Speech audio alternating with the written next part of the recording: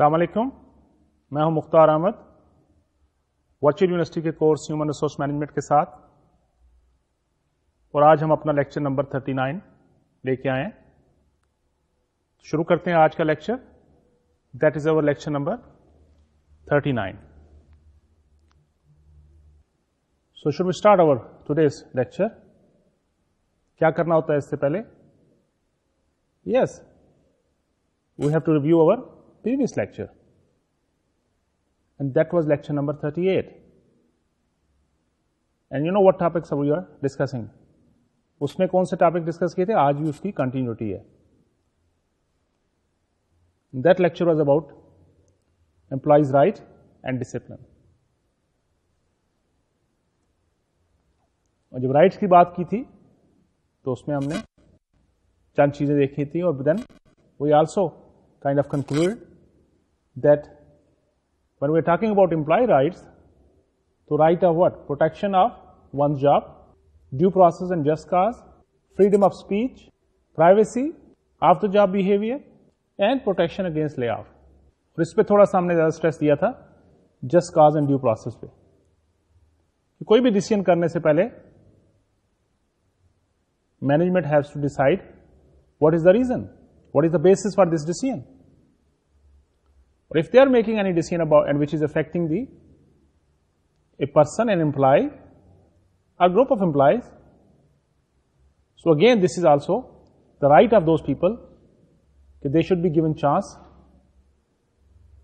to protect, to defend their themselves or against those allegations they should defend themselves. But remember, those basic rules regulations they, they vary from organization to organization. There are some basic principal rules and then there are more which are more specific to their organizations and even culture or even countries. Not only we discussed during our previous lecture the employee's right, but we also discussed the employer rights or the management rights. उनकी क्या rights हैं कुछ याद है उनमें से run business and retain any profit. They have the right to run the business, go for any kind of business which is provided, which is allowed under the rule, and then they can retain the profit. और उसमें मैंने आपसे कहा था कि again it depend on the policies the government policies और the countries policies जैसे हम देखते हैं कि कुछ कंट्रीज हैं वो 100 परसेंट आपको अलाउ करती हैं कि आप उसको ले जाएं जहां भी ले जाना है लेकिन कुछ कंट्रीज हैं कि they put embargo they put under legal kind of protection there, okay, you have to spend at least certain portion of that profit in the same country. तो ये चीज़ें डिपेंड करती हैं culture to culture organisation to organisation and उसके अलावा हमने management की rights में ये भी देखा they have the right to manage workers to hire them to fire them जिसको हम एम्प्लॉयमेंट एट विल भी कहते हैं and so on and then the second part of our previous lecture was about discipline क्या चीज़ है? कितनी इसकी फेजेस हैं? किसमें है? और कैसे हम इसको देखते हैं? And then at the end try to understand the guideline for the implementation of organization rules which are made for the proper function of the organization उसमें हमने देखा कि it should be in written form and you should publish it widely the organization should publish it widely और किस शक्ल में मिलता है एम्प्लॉयर्स को? एम्प्लॉयर्स देता है एम्प्लॉइज को? यस एम्प्लॉइज हैंडबुक की शक्ल में। Rule should be review regularly and we should also give the reason the administration the management should also give the reason why they want to change the rules और make sure that everybody know it यही नहीं बल्कि आप उसको publicise भी करते हो। ताकि सबको उसको रिमाइंडर भी होता रहे उसके अलावा the last part get with sign और get the certification from the employees they have read it and understood it so that there should not be any problem. So what about today's topic? What topics we are going to cover? Yes, we will continue the discipline part and the second half of the lecture will be about separation. Discipline and separation, implies separation. Let's try to see the common disciplinary problems when we're talking about the organizations. क्या चीज़ें हमें नज़र आती हैं? क्या discipline issues बनते हैं? चंद चीज़ों को डिस्कस करते हैं उनको समझने की कोशिश करते हैं। बड़ा इंपॉर्टेंट इशू डिसिप्लिनरी इशू जो फेस करती है ऑर्गेनाइजेशन अटेंडेंस हाजिरी जिसको कहते हैं हम। यहाँ क्या इश्यू होते हैं? अनएक्सक्यूज एब्सेंस कोई वजह बगैर भी छुट्टियाँ कर लेनी। क्रॉनिक एब्सेंटिज्म हैबिचुअल लोग हो जाते हैं कि हर दूसरे दिन छुट्टी कर ली।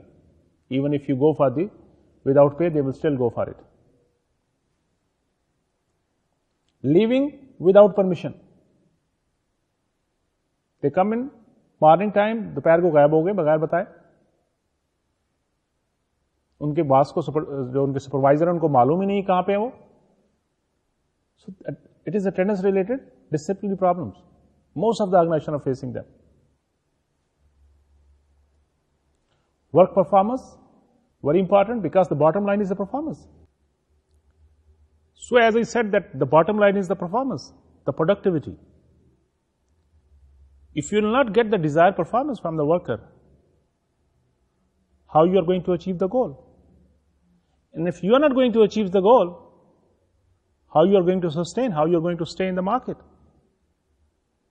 So that is the big disciplinary problem. Of course, attendance is the same thing.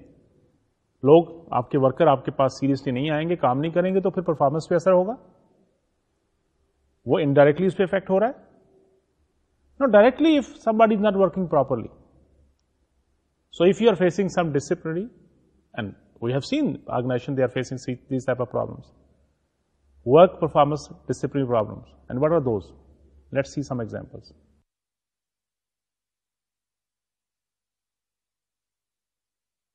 Not completing work assignments timely.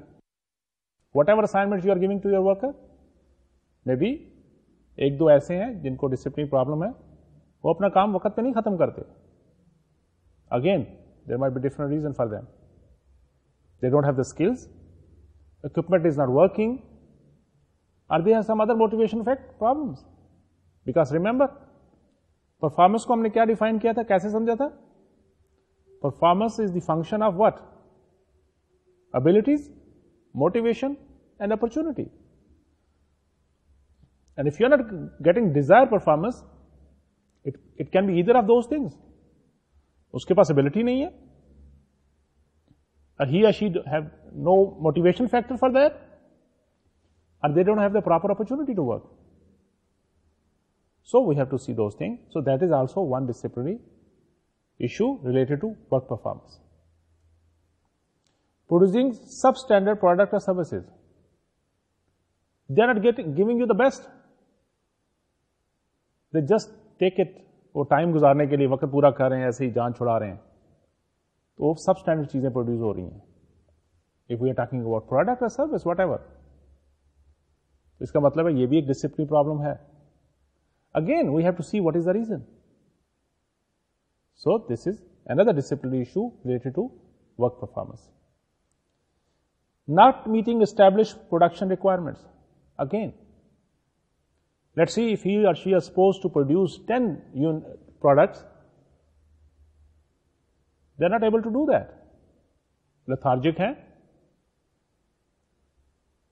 सस्ताते रहते हैं टाइम जाया करते हैं। सीरियसली काम को नहीं लेते। Or due to some reason so you have to be very careful watchful because the ultimately as I set the bottom line is the performance the production what about the dishonesty and related problem होता नहीं ये तो। And again big issue big discipline problem dishonesty No organization can afford that. Theft, very bad thing. Falsifying employment applications, even application में जो उसने information दी वो सारी गलत है तो झूठ बोला ना डिसऑनेस्टी होगी उसमें बताया कि मैंने ये ये किया हुआ मैंने यहां से डिग्रियां ली ये किया हुआ may be one you are checking it what you will do so this is another practical discipline problem that of organization are facing them. Willfully damaging organization property. एक तो ये सिचुएशन है ना कि काम करते करते कोई नुकसान हो गया that is something different that is not a discipline problem काम के दौरान अनकॉन्शियसली नुकसान हो गया. इवन बड़े बड़े नुकसान हो जाते हैं अदारे they don't feel anything but if somebody is wilfully मस्ती करके चीज़ों को नुकसान पहुँचा रहा है that is dangerous that is a discipline problem because it is a reaction of something you have to figure out what is wrong?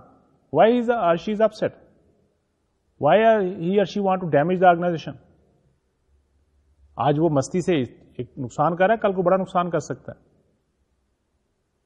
so that is also a discipline problem उसके अलावा punching another employee's time card now see some organization they follow those time card punching system कि वहाँ सुबह आते हैं, उनका एक card सा होता है वो अपने नाम का कार्ड निकाला और पंच मशीन में डाला, वो टाइम पंच हो जाता है उस पर and when they will be leaving they will again punch it out so that H R department should calculate how much time they have given for the work अमूमन कई दफ़ा ऐसे होता है कि एंड इट्स वेरी रेयर कुछ लोग करते होंगे, अमूमन ऐसा नहीं है, कि people can do the friendly job क्योंकि I be late you what you do you punch my card आप जा रहे हो जल्दी, मेरी कार्ड को भी पंच कर देना।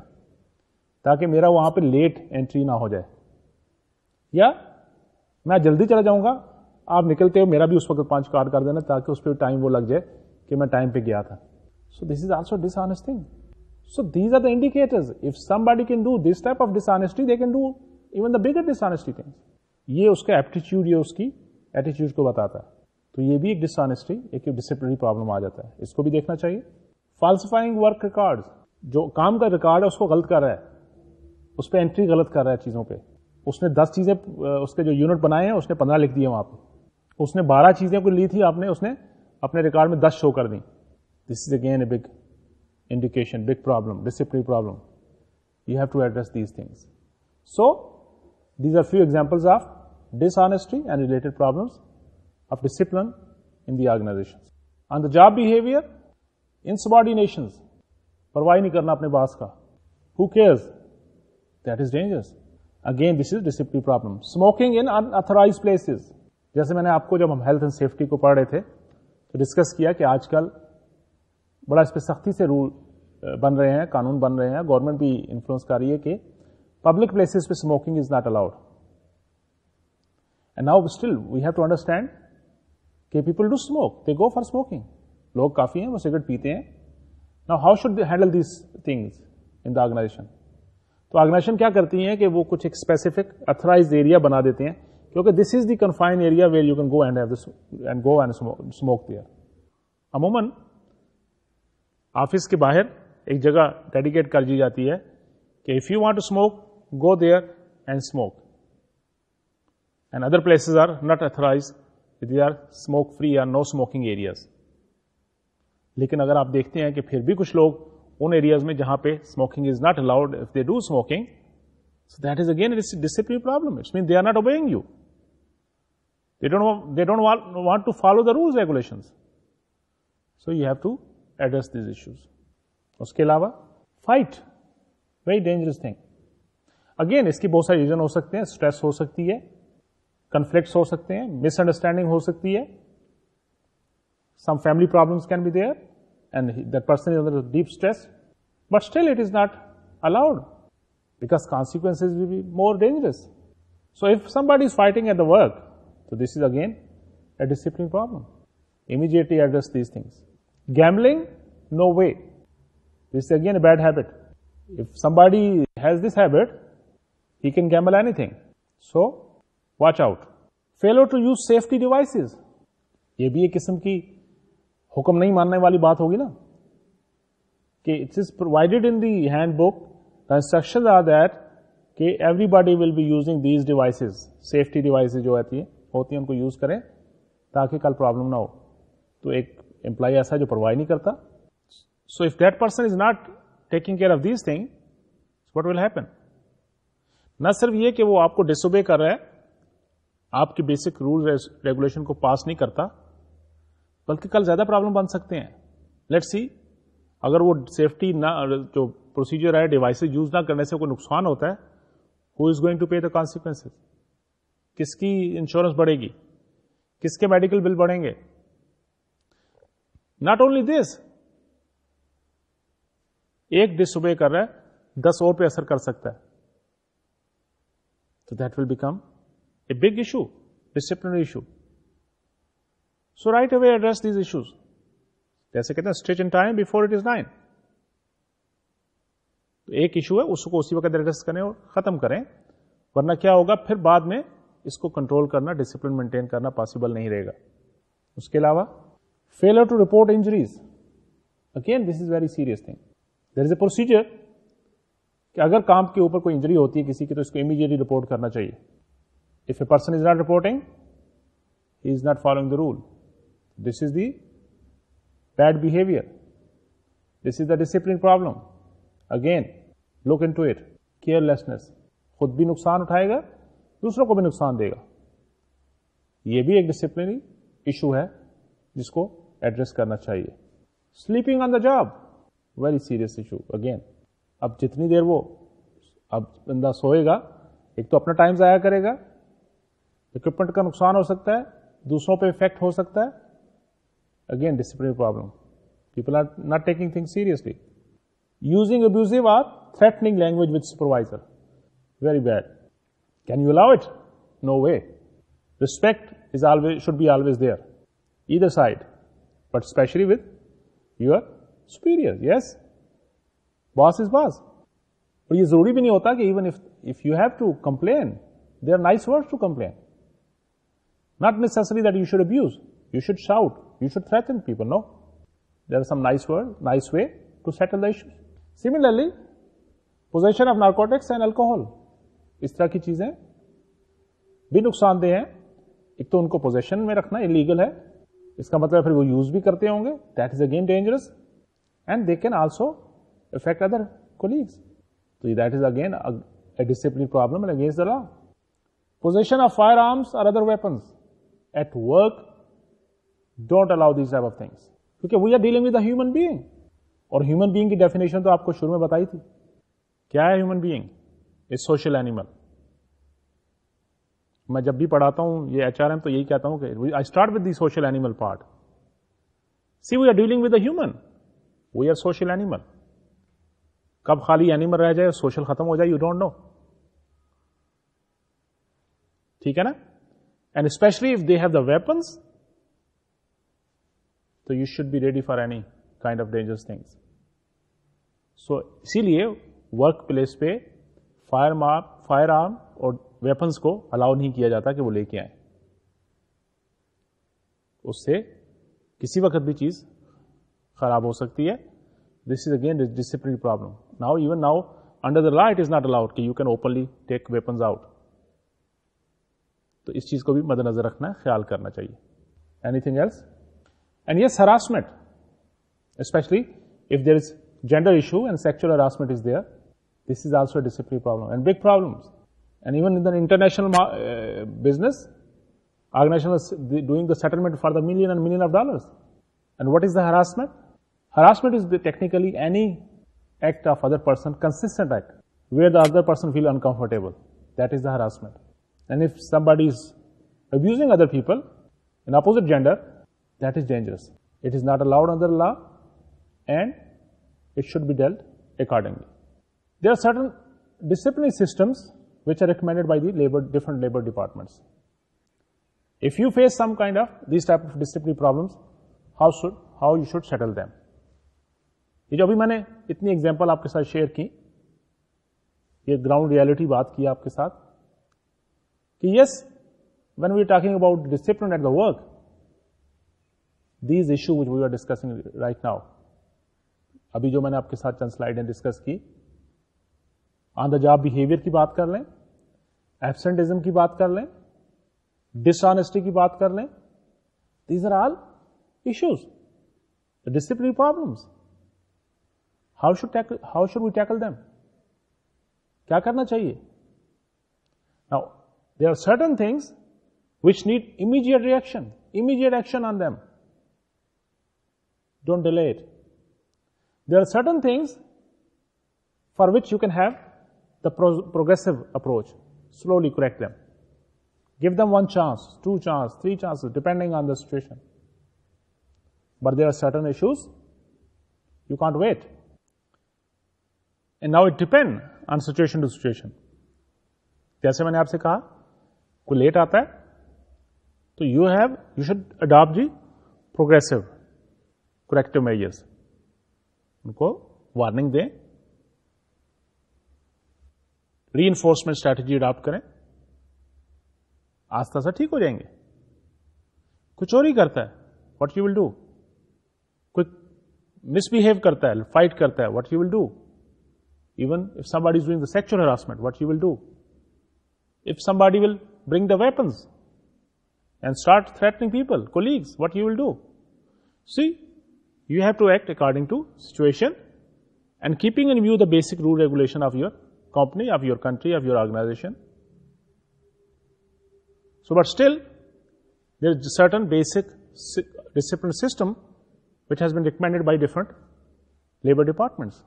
Let's see them and try to understand how people are managing their disciplinary issues or disciplinary problems.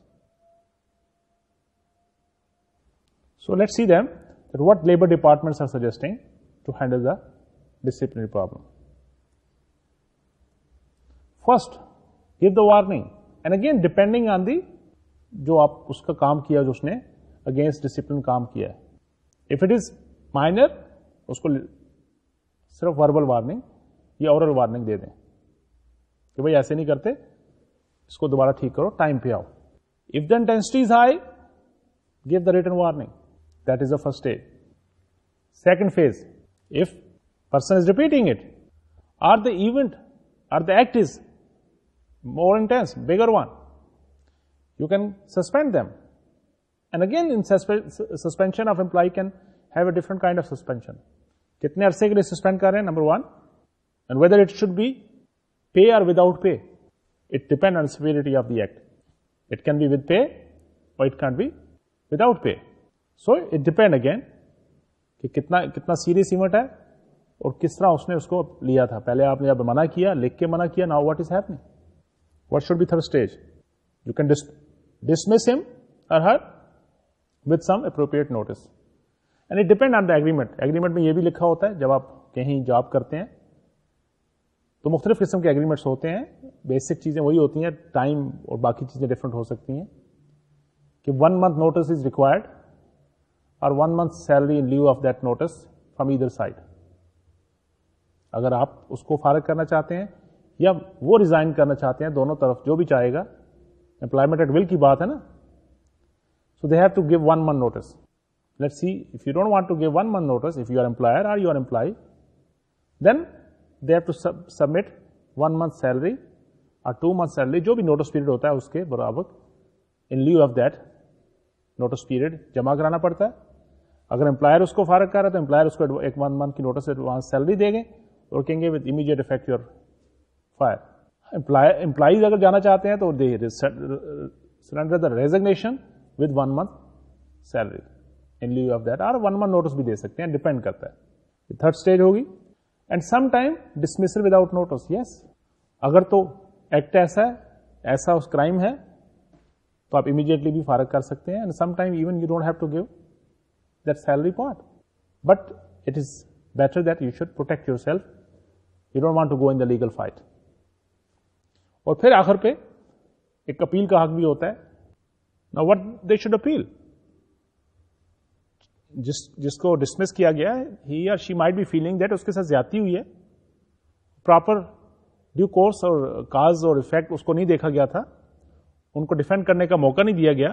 तो they have the right to appeal and where can they appeal एक तो इमीडिएटली जिन्होंने उसको जिस बास ने या जिसकी इंस्ट्रक्शन से उनको डिसमिस किया गया they can appeal to him or to some superior body उसके बास के साथ अपील हो कर सकते हैं। या मुख्तलिफ़ बॉडीज होती हैं जहाँ पे आप अपील कर सकते हैं और ultimately you can go to court of law for the appeal your right again. So these are the few steps for any disciplinary system. They vary, of course, little bit, but they follow main course of action. ठीक है तो इसी चीज़ को graphically भी देखते हैं progressive discipline procedure क्या होता है कि वर्बल काशन करते हैं। फ़र्स्ट ऑफेंस हुआ पहली गलती की। फिर गलती की तो रिटर्न कर दिया। फिर गलती की तो सस्पेंड कर दिया। फिर गल, फिर फिर भी बाज नहीं आ रहे तो डिसमिस है फ़र्क कर दें। बिकॉज़ सी वैसे भी कहा जाता है कि मोहम्मद एक एक दफ़ा से एक, दफ, एक ही बार गलती करता है। तो एक बार गलती दो बार गलती तीन बार enough is enough so that is also a progressive discipline procedure right आप टेक्स्ट बुक आपकी टेक्स्ट बुक में आपने ये टर्म देखी होगी द हार्ट स्टोव रूल बार बार ये चीज़ें आती हैं तो I thought let, let's discuss these things here too. What is this hot stove क्या चीज़ है ये? Good discipline is like a hot stove इसका मकसद क्या? स्टोव समझते हैं ना कि चूल्हे के ऊपर चूल्हे की बात कर रहे हैं कि अच्छा रूल क्या होता है? अच्छा प्रोसीजर क्या? है डिसिप्लिन का? कि वो जिस तरह चूल्हा एक्ट करता है ना उसका करना चाहिए। क्या फिलासफी है इसके पीछे वो समझते हैं? इट प्रोवाइड्स ए वार्निंग चूल्हे पे जब भी कोई चीज़ आप रखते हो तो एकदम वो फील होती है गर्म। तो वार्निंग आएगा ना? सो so, ऐसा रूल होना चाहिए जो आपको वार्न करे। इट इज़ कंसिस्टेंट जब भी आप उस चूल्हे पे चीज़ रखेंगे वो गर्म होगी हाथ रखेंगे हाथ जलेगा। It is consistent burn every time जब भी गलती करोगे सजा मिलेगी। ठीक है ना? इट इज़ इमीजिएट जैसे ही गलती करोगे, साथ ही जैसे ही चूल्हे के ऊपर कोई चीज़ रखोगे, वो गर्म होगी। तो जैसे ही कोई गलती करेंगे तो उसकी सजा मिलेगी। And it it is impersonal और वो जो कोई उसके ऊपर चीज़ रखेंगे, उसको गर्म करेगी, जो हाथ आगे करेंगे, वो जलेगा। वो नहीं पहचानती आग कि ये आपका हाथ है, किसी और का हाथ। तो क्या हुआ कहने का मकसद? कि जो भी रूल बनाए डिसिप्लिन का, वो ऐसा बनाए कि जो पहले वार्निंग भी दे लोगों को, पता हो लोगों को अगर गलती करेंगे तो ये होगा। और फिर कंसिस्टेंट होगी जब गलती करेंगे ये उस, उनको नुकसान पहुँच सकता है। और जो भी गलती करेगा उसको यही नुकसान होगा। तो उसको हार्ट स्ट्रोक रूल भी कहते हैं। उसके क्या करेक्टरिस्टिक्स होंगे?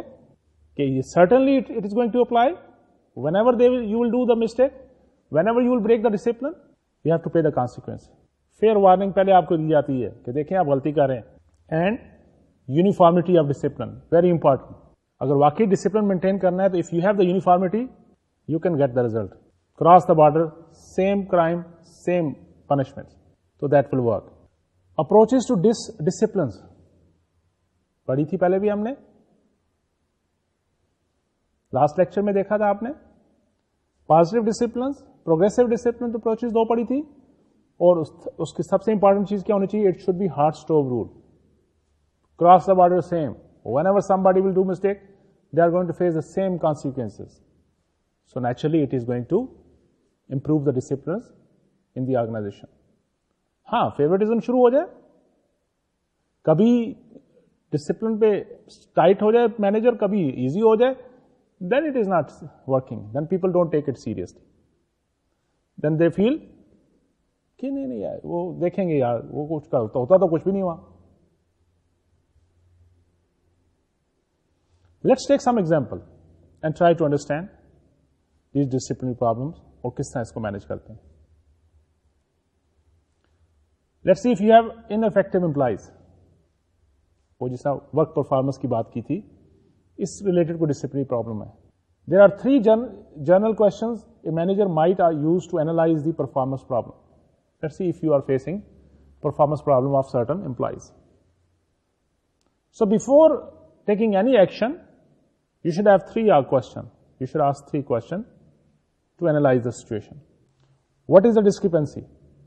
क्या हो रहा है? किस तरह आप समझते हैं कि ये परफॉर्मेंस अच्छी नहीं है?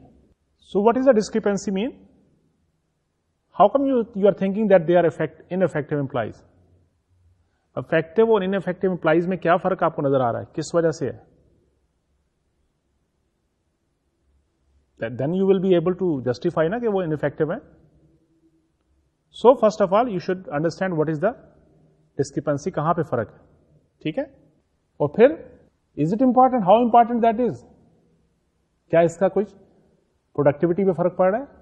आउटकम पे फ़र्क पड़ रहा है? ओवरऑल परफॉर्मेंस पे फ़र्क पड़ रहा है? क्वालिटी या प्रोडक्ट या सर्विस पे फ़र्क पड़ रहा है? और what and is it a deficiency in skill जैसे मैंने आपसे कहा था कि परफॉर्मेंस की जब हम बात करते हैं, इसको हम कैसे करते समझते हैं परफॉर्मेंस है क्या चीज़ it has to do with abilities जिसमें स्किल्स भी है नॉलेज भी है और मोटिवेशन है और अपॉर्चुनिटी है तो क्या आप समझते हैं कि ये उसकी स्किल की वजह से इनफेक्टिव है या इन एफिशियंट है इंप्लाइज आपके is there, if there is a deficiency in skill, then it must be corrected. And if you feel it is a deficiency in the skills, then correct it. और अगर वो मस्ती से कर रहे हैं then that is a different story. And if it is the equipment which is the problem, then it should be cross the border for the same. Then it, it is not inefficient, it is something else. If the problem does not have to do with the skills, then it must be addressed in the terms of what?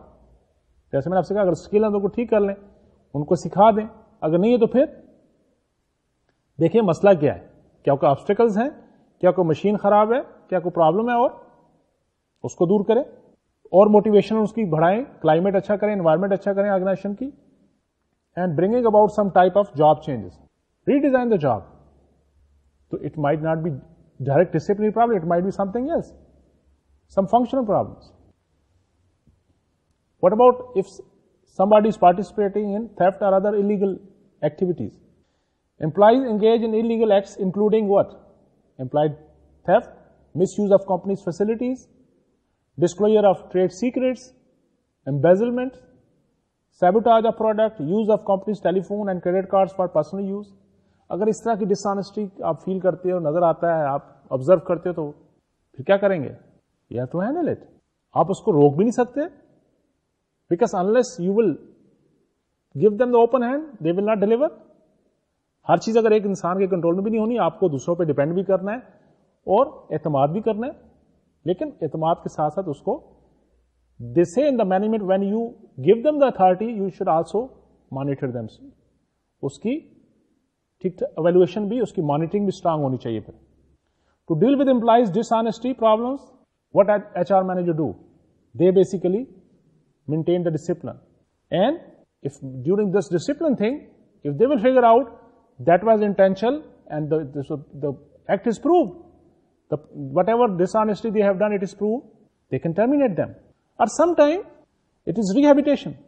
Rehabilitation का क्या है कि ये भी हो सकता है कि उसको कुछ मेंटली प्रॉब्लम हो उसको थोड़ा सा कंपनसेट करके सेटल करें and H R department have responsibility for crime prevention this is their responsibility how they can do that सबसे पहले तो कोशिश ही करेंगे गलत आदमी को आपकी टीम को ज्वाइन ही ना करे वो कैसे करेंगे remember then when we are doing the selection process we discuss about the background check अगर वो अच्छी तरह आपने किया हो, आपका सिक्योरिटी सिस्टम अच्छा हो तो then should not be any problem background check या रेफरेंस चेक जब आप करते हैं तो उसमें क्या होता है?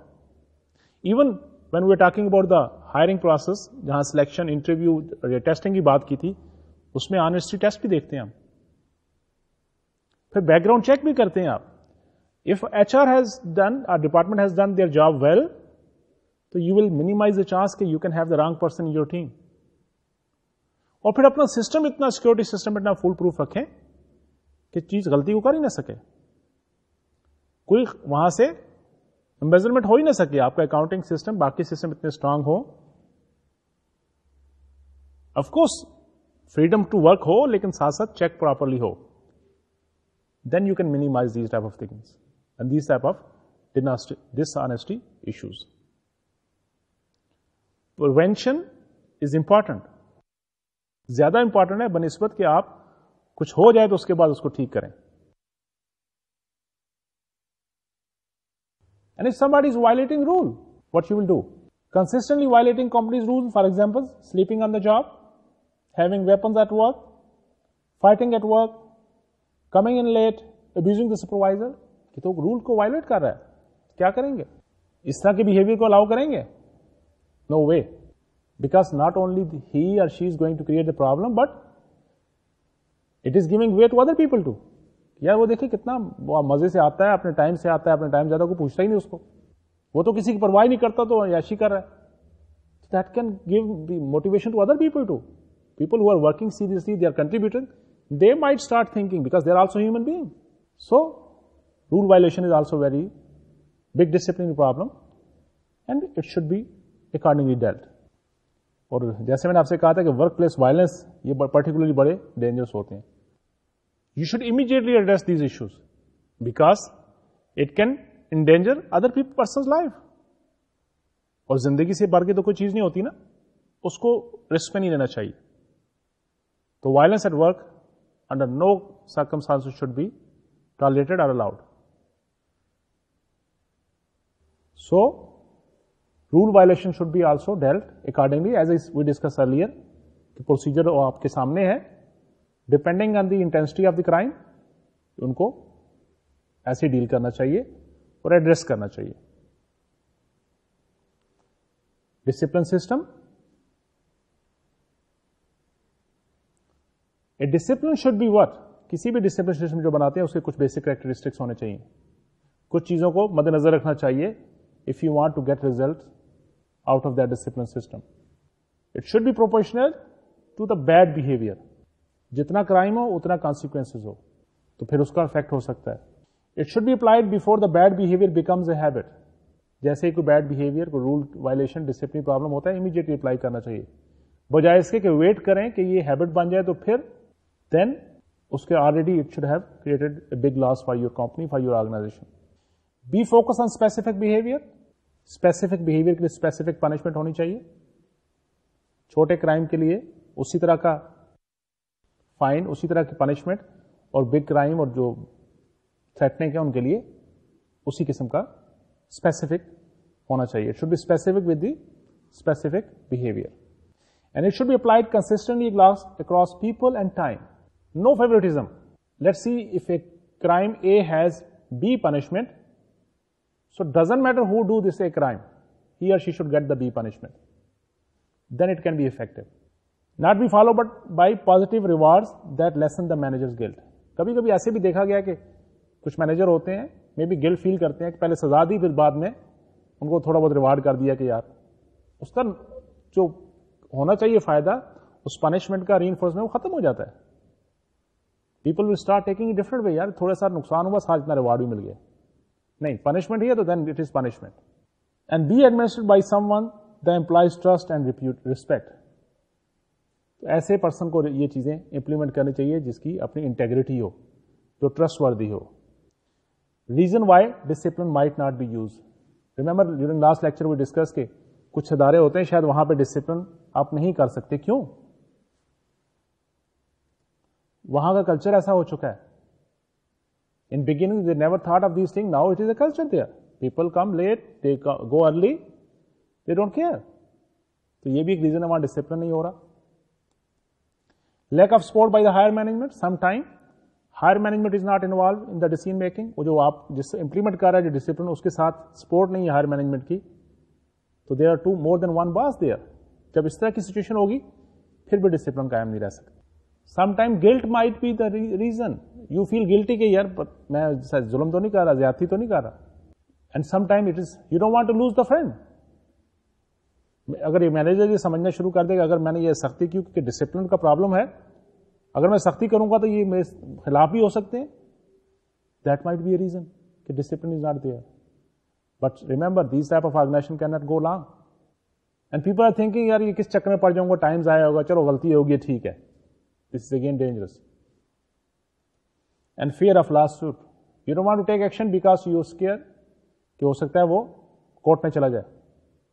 If you're right don't worry act authority उसी वक्त है जब उसको यूज़ किया जाए। लेकिन राइट टाइम पे राइट मकसद के लिए उसका एथिकल इशू मद्देनजर ज़रूर रखना चाहिए। So that was all about what discipline let's talk about separation separation from the organisation you started with in recruitment selection now time is separation बाकी सारी एक्टिविटीज़ हमने डिस्कस कर ली। लेट्स टॉक अबाउट सेपरेशन ये क्या चीज़ होती है और कितनी किस्म की होती है। कुछ ऐसी सेपरेशन भी होती हैं, जिसको डिसिप्लिनरी सेपरेशन कहते हैं हम, जिसमें डिसमिसल एक एग्जांपल आ सकती है। और कुछ ऐसी होती है जो नॉन डिसिप्लिनरी होती हैं, जिसको हम lay off downsizing resignation retirements ये चीज़ें कहा जाता है। इन वॉलंटरी सेपरेशन जो खुशी से कोई सेपरेट नहीं होता वॉलंटरीली कोई सेपरेट नहीं होता, वो कितनी किस्म की है, जिसमें आपकी वो डिसमिसल वगैरह भी आ सकते हैं ना। इश्यूज़ क्या हो सकते हैं? Employment at will no this is the right of organisation जैसे हमने लास्ट लेक्चर में भी एम्प्लॉयमेंट एट विल समझा था। कि they can hire people they can fire people they don't want you तो ये आप तो चाहते हैं काम करना, लेकिन they don't want due to any reason but again with in the framework of legal similarly disciplinary reason भी हो सकते हैं। कुछ ऐसी काम हो सकते हैं जिसकी वजह से डिसमिसल किया जा रहा हो। ले ऑफ़ भी हो सकता है। जैसे आप ग्रोथ हो रही थी ऑर्गेनाइजेशन की you have more hiring and if the things are not good you can have the lay off उसमें भी मुख्तलिफ़ किस्में उनकी। तो ये सारी चीज़ें ना चाहते हुए भी आपको वहाँ से निकलना पड़ता है। Right let's take one example termination for cause किसी रीजन की वजह से आपको टर्मिनेट किया जा रहा है। Some offences are so bad they typically justify immediate termination किसी के तो बाकायदा प्रोसेस है ना, आप पहले एक वार्निंग दें, दूसरी वार्निंग दें रिटर्न वार्निंग दें। एक्सप्लेनेशन कॉल करें सस्पेंशन करें and then terminated but some can be immediate again as I said depending on the kind of crime let's see किसी ने अपने रिज्यूमे में गलत इंफॉर्मेशन दे दी थी। वेरीफाई किया चेक किया, गलत निकली तो इट्स ए बिग क्राइम किसी ने गलत ट्रांसक्रिप्ट दे दिए। एक डिग्री भेज दी, जाली जमा करा दी जब वेरीफाई करवाया गया तो वो डिग्री नहीं थी इमीडिएटली टर्मिनेट दैट पर्सन इस तरह रिकॉर्ड गलत किया, वर्क के तो this is again a big crime उसको, उसने आठ घंटे काम किया डबल का आवर लिख दिए, सामान जितना लिया, कम लिख दिया इवन एम्बेजलमेंट पैसों में गड़बड़ की डोंट वेट ट्रेड सीक्रेट्स अपनी ऑर्गेनाइजेशन के बाहर बता दिए किसी को कंपनी की प्रॉपर्टी को स्टील किया सुपरवाइजर को या जो आपके फेलो एम्प्लॉयज़ हैं उसको असल्ट किया, उनके साथ झगड़ा किया possession of weapons alcohol illegal drugs these are all things for which you can immediately terminate the people but there are certain acceptable reason and certain acceptable reason for which you can immediately terminate the people. What are the acceptable reason? Incompetency भी हो सकती है कि वो उस काम के लिए फिट इन नहीं है रिपीटेड इनसबॉर्डिनेशन है, वो मानता ही नहीं है अपने पास को। रिपीटेड लेटनेस अनएक्सक्यूड एबसेंसेस और कर रहे हैं। Illegal behaviour verbal abuse physical violence and these are the kind of things for which you can just fire them terminate their services और कुछ अनएक्सेप्टेबल रीजन भी हो सकती हैं। रिपोर्टिंग इलीगल कंपनीज़ एक्शन और कोऑपरेटिंग इन लीगल इन्वेस्टिगेशन तो कोई इस वजह से आप उसको नहीं निकाल सकते कि उसने कंपनी के खिलाफ कोई बात की है और कंपनी को इलीगल बात कर रही थी तो वो एजेंसीज को हेल्प कर रहा है। तो these are unacceptable reason by the law similarly filing worker compensation claim किसी ने कोर्ट में आपकी, आपके खिलाफ कोई कंप्लेन कर दी, उस बेस पे आप उसको नहीं निकाल सकते। ये एक रीजन ऐसा नहीं है जिसपे आप उसको निकाल सकें टिल द टाइम के डिसीज़न होता है। Engaging in concerted activities to protest wages worker condition safety any way any kind of activity which is against the organisation वो यूनियन की एक्शन पे बात करता है कहीं कंप्लेन करता है तो इस बेस को बना के आप किसी को फारग नहीं कर सकते टर्मिनेट नहीं कर सकते आपको रूल इसकी परमिशन नहीं देता। Similarly, if he or she is refusing an assignment because of the reasonable belief that it is dangerous, again, क्योंकि देखिए ना एक तो ये राइट है वर्कर की कि वो आप हुक्म माने अपने बास का। वो जो काम कहा जाए उसे करे। लेकिन वट एक्टिविटी वट एक्शन और what kind of work if the person is feeling that it is dangerous for him तो ही कैन रिफ्यूज आप उस बेस पे उसको फारग नहीं कर सकते। And termination does two things punish the problem employees and send a message to other employees about what will be tolerance कि इसका क्या कॉन्सिक्वेंस होगा। एक तो ये है कि उसका बिहेवियर ठीक होता है उसको पनिश होता है जिसने गलती की है दूसरों के लिए एक मैसेज होता है कि दे शुड बी केयरफुल और टर्मिनेशन को मैनेज करने के लिए क्या ज़रूरी है? Remember very important documents documents documents You have to properly document the event so that if he or she is going to court or some higher authority, you should have the proof why you have terminated a person. ठीक है जी? Demotion as alternative of termination कभी कभी ये भी होता है कि crime अगर थोड़ा है छोटा है तो आप बजाय उसको टर्मिनेट करके उसको डिमोट कर देते हैं, उसको लोअर स्केल पे ले आते हैं। That is also a punishment and big punishment ये अल्टरनेट के तौर पे यूज़ किया जाता है। सिमिलरली ले ऑफ़ जिसको हम डाउन साइजिंग कहते हैं रिस्ट्रक्चर भी कहते हैं राइट साइजिंग भी कहते हैं। Why people do this thing because they don't have the now बजाय ग्रोथ के, इस वक्त मार्केट में नहीं है तो वो ले ऑफ़ भी करते हैं। ले ऑफ़ की भी मुख्तलिफ़ किस्में हैं। टेम्परेरी ले ऑफ़ भी होता है परमानेंट ले ऑफ़ भी होता है। विद द रिकॉल भी एक कमिटमेंट होती है कि whenever will get the project again will call you again ठीक है? And as I said that it can be different type of different type of lay off recall भी हो सकता है परमानेंट ले ऑफ़ भी हो सकता है।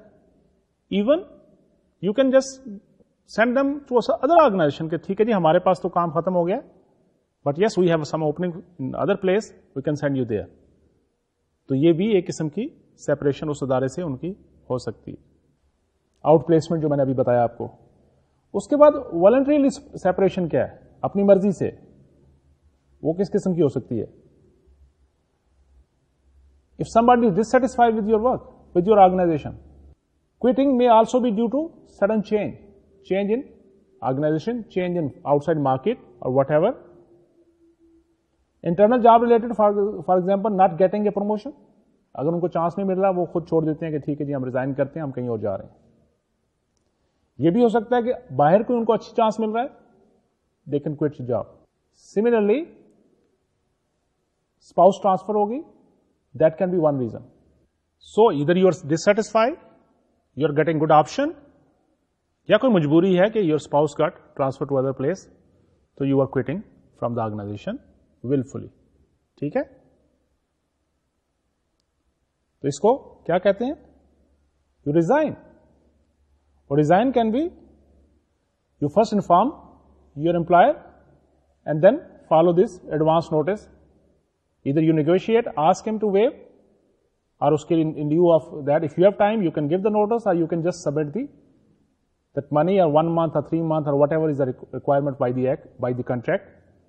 उतने पैसे जमा करा के आप इमीडिएटली भी रिजाइन कर सकते then retirement now one has to retire now there have certain requirement कहाँ किसी जगह एज लिमिट है किसी जगह सर्विस है कि इतनी साल की सर्विस कर लें then you be retiring and some organisation you जब तक आप काम कर सकते हैं even you don't have to retire but after completing the service or completing the age limit people retire, or sometime they can go for early retirement.